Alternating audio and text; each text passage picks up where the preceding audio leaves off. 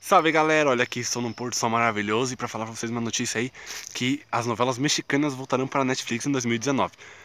Tá, desculpa, eu tô voltando do trampo agora, gente, eu vou fazer uma live explicando melhor pra vocês.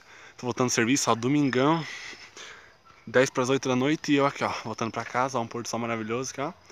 E só pra avisar vocês que Netflix volta a parceria com a Televisa e que vem muitas novidades por aí, Rebelde, Usurpadora e Fábrica de Sonhos, que é aquele projeto da Televisa com grandes sucessos mexicanos em 20 episódios.